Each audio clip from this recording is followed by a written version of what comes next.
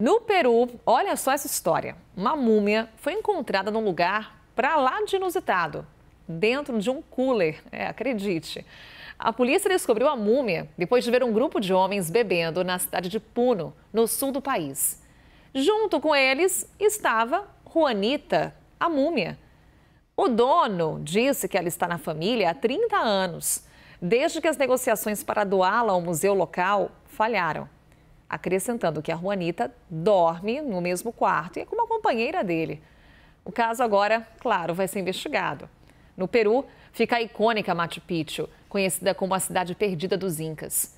O país tem centenas de sítios arqueológicos de culturas que se desenvolveram antes e depois do Império, que dominou parte da América do Sul há 500 anos.